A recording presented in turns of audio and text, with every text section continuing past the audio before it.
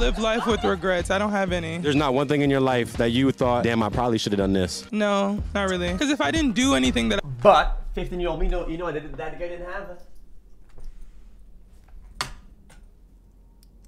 Absolute, insane, crazy, brilliant 100 mil ice. Holy.